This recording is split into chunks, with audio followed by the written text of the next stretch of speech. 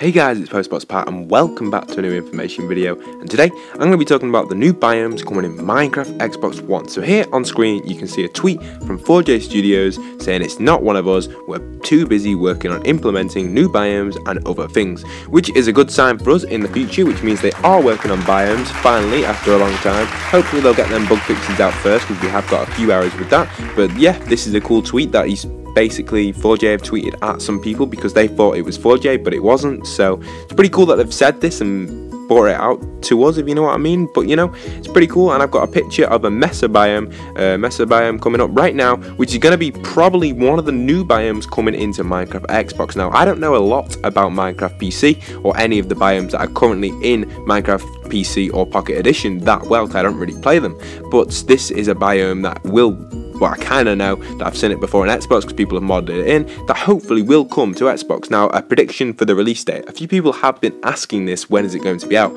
Now, my friend GTA, he actually predicted the 19th of December because that's when it came out last year. And that's not a bad prediction, to be honest. It's roughly, probably about the same time as last year. Maybe this year it might be brought forward slightly because I don't think they're going to bring it out in the next month or two, at least two months away. So my prediction would probably be start of December if I could predict the the release date, but personally, I think the 19th of September is a really good prediction from GTA. So that was a really good prediction from him, and I'm going to take that one up probably between there and December. Uh, if it comes out any earlier, then I'm wrong, but usually my predictions are quite accurate when it's going to come out. So it's pretty interesting. Maybe even later, depending on if any more bug fixes come in. And 4J have been working pretty slow lately. I know they do take time on their mashup packs and stuff, so I suppose that comes first for them. But also, these uh, updates are very important, and it's only it's been a year really since we've had a last survival update. We're speaking survival terms here. I know the wood came in creative, but who really wants it in creative if you only play survival? So you can see where I'm coming from there, and it's kind of irritating knowing that that wood's in creative and not survival. But the biomes are coming which will allow us to get the wood. I really do hope they do extend the world and bigger multiplayer. Personally, I think that is out of the window.